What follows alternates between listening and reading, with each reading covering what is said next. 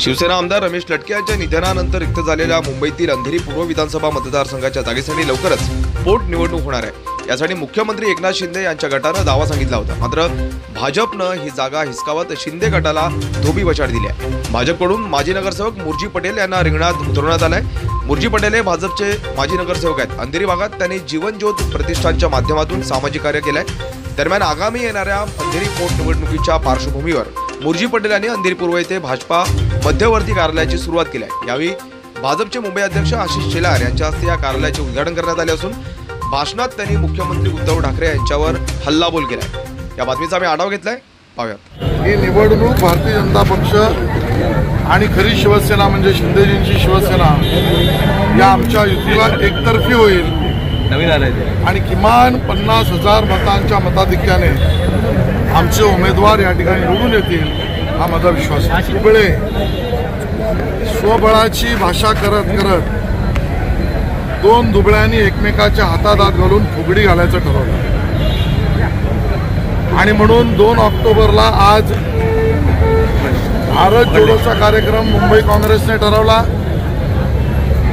त्यांच्याकडे जनसमर्थन नाही लोकांचं साथ नाही. तर पेंग्विन सेना त्यांना मदत करायला तिथे पोचली. आणि त्याचाच परिणाम दुसऱ्या बाजूने दसऱ्याला शिवाजी पार्क भरणार नाही म्हणून पेंग्विन सेनेला शिवाजी पार्क भरण्यासाठी काँग्रेसचा हात आता बळ द्यायचा प्रयत्न करणार आहे.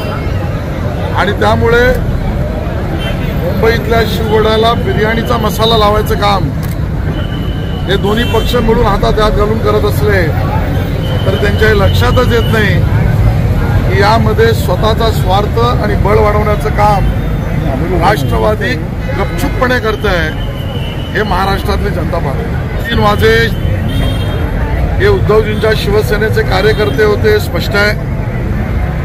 ऑन रेकॉर्ड आहे. त्यांना ज्या वेळेला दलामध्ये पुन्हा घेण्यात आलं त्यावेळेला कोणी दबाव टाकला विशेष प्रयत्न केले हे सुद्धा न्यायालयाच्या रेकॉर्डवर आहे. दोन्ही गोष्टीमध्ये उद्धवजी मुख्यमंत्री असताना उद्धवजींच्या शिवसेनेचा हात दिसतोय. आणि त्यामुळे जाधवांनी सांगितलेल्या माहितीला बळ मिळावं असेच पुरावे परिस्थितीजन्य आहे. विजय विजय आणि विजय. अंधेरी पूर्वमधल्या नागरिकांना राज्य सरकारच्या महापालिकेच्या आणि केंद्राने राज्यात केलेल्या सेवा सुविधा अडीच वर्षामध्ये पोचल्या नाहीत. इथली जनता वंचित राहिली विकासापासून. आणि त्यामुळे दुप्पट गतीने त्यांना राहिलेलं काम सुद्धा आणि येणाऱ्या काळातलं विकासाचं काम सुद्धा पूर्ण करण्याची जबाबदारी भारतीय जनता पक्षाने घेतली आहे. आणि मुरजी पटेलांसहित आमचे सगळे पदाधिकारी आणि नगरसेवक ते काम करतील. निवडणुकीमध्ये पन्नास हजाराचा मताधिकारी आजपर्यंत स्वतःच्या राजकीय स्वार्थासाठी खेळाची मैदानं उघडवली. उधळ फावड्याने उघडवली. आणि ज्यांनी आजही स्वतःचा मेळावा करण्यासाठी शिवाजी पार्कमधल्या आमच्या मुंबई क्रिकेट असोसिएशनच्या मैदानाला वाचवतील की नाही शंका उपस्थित केली. त्या उद्धवजींच्या शिवसेनेच्या पेंग्विन सेनेच्या लोकांना शिंदे ज्यांच्या शिवसेनेला विरोध करण्याचा अधिकार असेल.